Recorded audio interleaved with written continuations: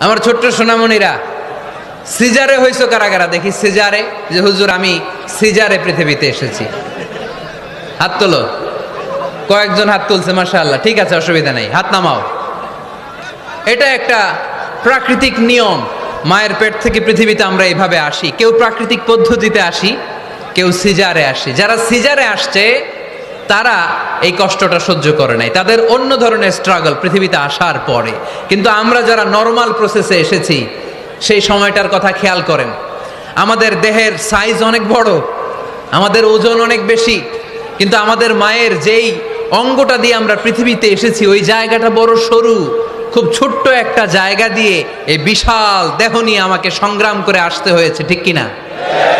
এবং এটা laboratorically proved scientifically attested যে এটা একজন বাচ্চার জন্য নবজাতক নিউ বর্ন বেবির জন্য খুবই স্বাস্থ্যকর, খুবই হেলদি কারণ এই ছোট্ট জায়গাটা দিয়ে, মায়ের ওই ছোট্ট অঙ্গ দিয়ে আমরা যে পৃথিবীতে আসি, আমাদেরকে একটা চাপ সহ্য করতে হয়।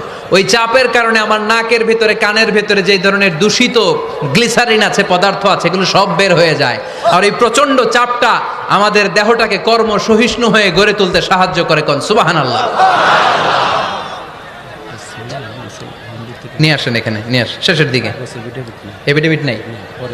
পরে হবে তাহলে আপনারা দায়িত্ব নিয়ে এভিডেভিট করবেন শুধু শাহাদা পড়বে আমার হাতে। ঠিক আছে ফাইন সেই দিন আমরা স্ট্রাগল করে পৃথিবীর বুকে এসেছিলাম। যেদিন মায়ের পেট থেকে যুদ্ধ করে আমাকে পৃথিবীতে আসতে হয়েছে ওই দিন আমার কান ছিল। এখনকার মতো কানের শক্তি ছিল। এখন যে হাতে শক্তি ওই শক্তি ছিল।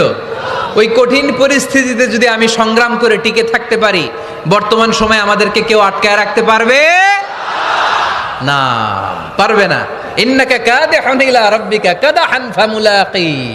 আল্লাহ বললেন, ও বনি আদম, তোমাকে কষ্ট করতে করতে আমার কাছে আসতে হবে। আবার আল্লাহ বললেন, লাকাদ খালাকনাল ইনসানা ফি কাবাদ। আমি বনি আদমকে দুনিয়ার সবগুলো মানুষকে কর্মসহিষ্ণু করে তৈরি করেছি। সুবহানাল্লাহ বলেন। কর্মসহিষ্ণু। আমাদের এক একজন মানুষ যে আমরা কতটা কষ্ট আর ধৈর্য সহ্য করতে পারি, আপনি কল্পনাও করতে পারবেন না। নর্মাল প্রসেসে আমাদের মা যেদিন আমাদেরকে ডেলিভারি দিয়েছিলেন, তখন আমাদের মা ফিফটি সেভেন ইউনিট প্লাস সুস্থ মানুষ ব্যথা সহ্য করতে পারে পঁয়তাল্লিশ ইউনিট কত ইউনিট কিন্তু আমাদের মা যেদিন আমাদেরকে দুনিয়ার বুকে এনেছিলেন সেদিন আমার মা, আপনার মা ব্যথা সহ্য করেছিল ফিফটি সেভেন ইউনিট প্লাস সাতান্ন ইউনিটেরও বেশি।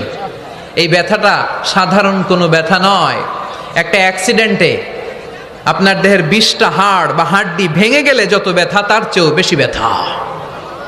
আমার মা সহ্য করেছিলেন। আমার মাকে ওই দিন এই ব্যথাগুলো সহ্য করার তৌফিক দিয়েছিলেন কে?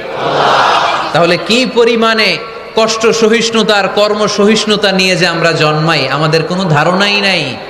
এজন্য আমি প্রায় বলি, ছেলে মেয়েদেরকে সন্তানকে ননির পুতুল করে গড়ে তুলবেন না। ছেলে মেয়েদেরকে কষ্ট সহিষ্ণু করে গড়ে তোলেন। প্রতিকূল পরিবেশে কি করে নিজের অস্তিত্ব জানান দিতে হয়, এমন করে আমরা আমাদের মুসলমান সন্তানদেরকে গড়ে তুলবো, চিল্লায় বলেন, ঠিক কিনা?